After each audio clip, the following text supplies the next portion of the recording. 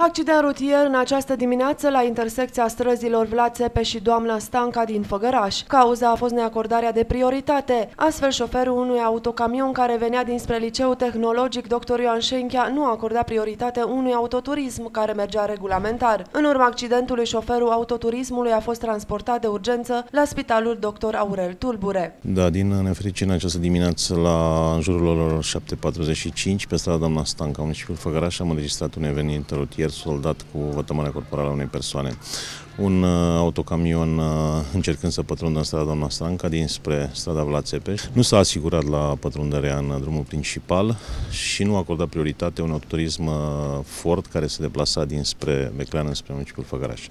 În urma uh, neacordării de prioritate a rezultat uh, un accident, după cum am spus, uh, și vătămarea corporală a conducătorului uh, auto uh, s-a produs ca urmare a neacordării de prioritate, priorității vehiculelor. Oamenii legii vin cu noi recomandări pentru toți participanții la trafic pentru a se evita astfel de evenimente rutiere. Recomandăm participanții la trafic să manifeste o atenție deosebită în timpul folosirii drumului public. Iată, din nefericire, starea vremii se îmbunătățește, existând premizele uh, formării uh, condițiilor specifice de uh, iarnă.